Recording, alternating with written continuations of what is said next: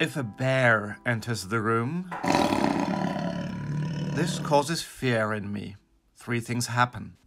First, my body mobilizes everything it has got to prepare me for running away. Then my perception focuses only on the bear.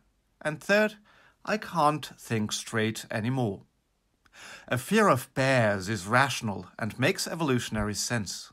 However, fear also happens without any sound reason and in ways that make life more difficult.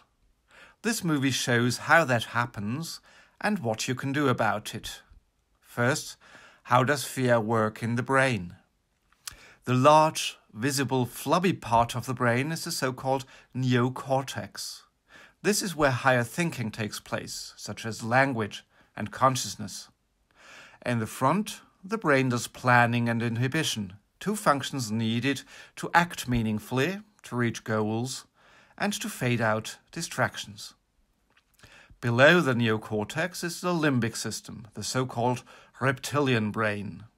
It is not accessible by language and conscious thought. Relevant for us is a roughly pea sized part, the amygdala, which handles emotions. Let's assume that I have a phobia of squirrels. If I see a squirrel, my amygdala fires.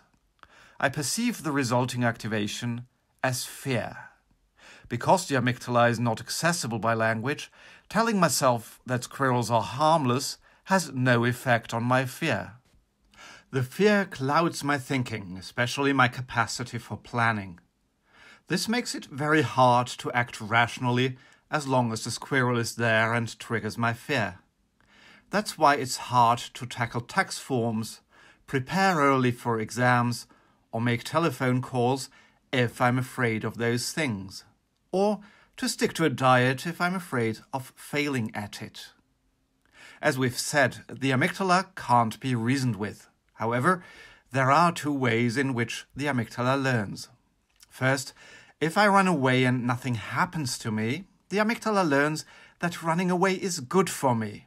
The fear will now intensify, and I will be afraid, for example, by simply thinking about squirrels. Or the fear will spread to animals that look like squirrels, or to trees, because they could harbor a squirrel. Second, if I don't run away and nothing happens, the amygdala learns that the fear is baseless and the fear will get weaker. Fear will subside if you confront it. That is the foundation of many behavioral therapies to deal with anxiety. In a nutshell, now that you are aware of the neuropsychology, you know the following things how fear is triggered by the amygdala firing when it encounters a threatening stimulus. Why you can't talk someone out of being afraid? Because the amygdala is not open to reasoning.